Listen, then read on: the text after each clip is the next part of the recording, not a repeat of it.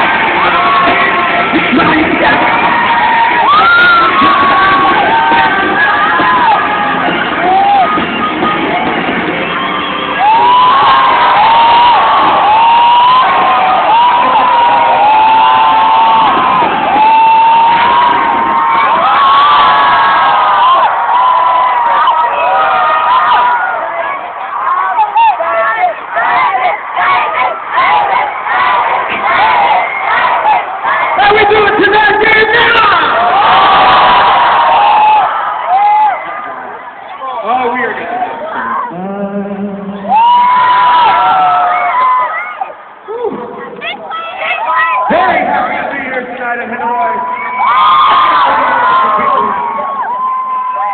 actually, uh, we're very excited. We have a new record coming out in two weeks.